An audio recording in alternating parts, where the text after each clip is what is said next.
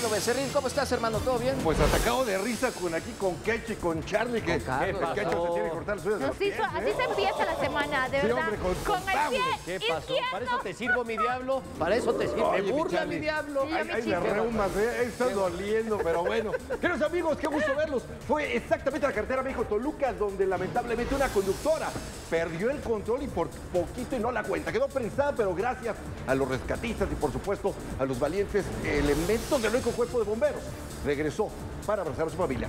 Mi querida amiga, Uri. ¡Vamos, Vamos a ver.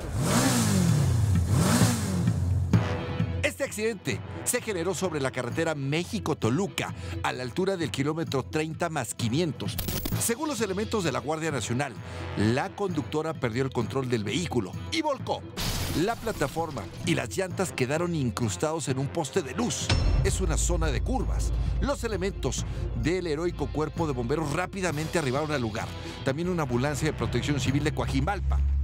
Y es así como los elementos del nuevo cuerpo de bomberos han llegado hasta este punto para apoyar en este accidente. Extrajeron a la mujer que conducía este vehículo y ahora lo van a colocar en su posición correcta. Ya está dentro de la ambulancia.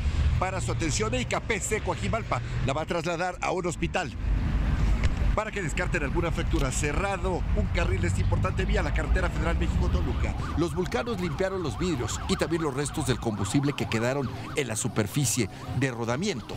Una hora después de este accidente, la circulación volvió a la normalidad con el retiro del vehículo involucrado y los vehículos de emergencia. Yo soy el Diablo Becerril y esto es Al Extremo.